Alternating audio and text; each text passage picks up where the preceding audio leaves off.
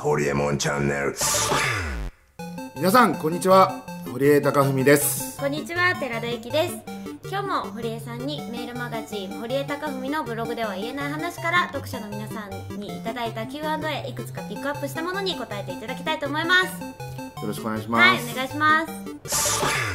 それでは今日の質問です実家でニートをしているものですがニート脱出のため iPhone アプリを制作してはリリースしています。今は1日約50ダウンロードで現在約2000ダウンロードくらいされています。広告を入れているのですが1日10円程度です。実家ニートなので生活費はかからないためとにかく一日中アプリ開発をしてリリースしまくろうと頑張っていたのですがなかなか伸びないラウンドラウラウダウンロード数にこのままやってても何になるのかとふと不安になってしまいます。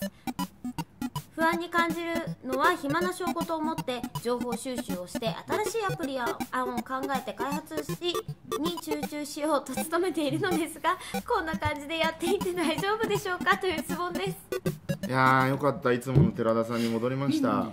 今日調子よかったのになはいえー、ということで、はい。今日も質問に答えていきたいと思いますけれどもはい、今日もアイスマン福留さんはい、がはい、冬なのに。お願いします。なのにアイスマなんとか生きてます。ンイエイ。年越せそうですか、年なんとか越したいですね。ん。はい。こたつでアイス美味しいですからこねたつでアイス。まあこたつで、まあそもそも最近こたつがないからね。そこか。そこか。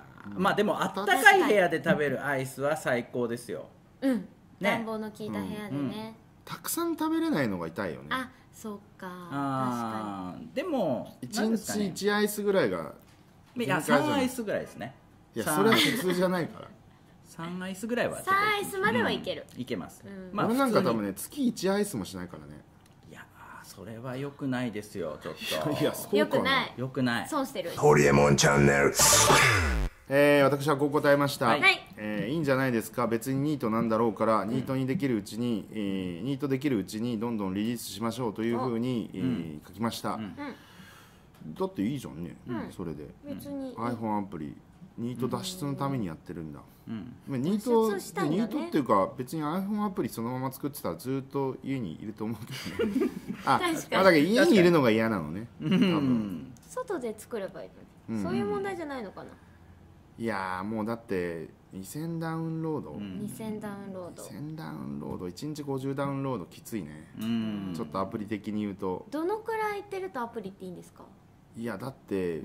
うん50ダウンロードで1日10円でしょ、うん。だから1日1万円稼ぎたければ、ん。これの1000倍ってことなので。そうか、じゃあ1日広告だけで買こうと思ったら5万1日5万ダウンロードぐらいいかないといけないから、う。ん。うん。いやこんな感じでやってていいと思います、ニートでやれるうちにね、まあ、僕もニートみたいなもんですからね、うん。まあずっと私もニートみたいなもんなんで、うんアプリをひたすら作って当たるまで、いいと思う、うん。当たるまで。当たるまでやるっていう、まあ永遠に当たらないこともあります。けどまあまあまあまあ、まあまあまあ。と iPhone アプリのその受託開発とかも。あはいはいはい。あのあランサーズとかに登あーなる録してほどなるほど。ランサーズとか登録してやるのはありですよね、作れるんだったらそのスキルを生かして、ね、うんいいですよね。そういうのができるんであればね、うんランサーズとかで外注受けてはいやっていく間になんかいいアイディアとか、あいいじゃないですかそれね,、うん。はいね、はい、やりましょう。はい。はい。ありがとうございました。電話が登録お願い。ホリエモンチャンネル。チャンネル登録はこちらへ。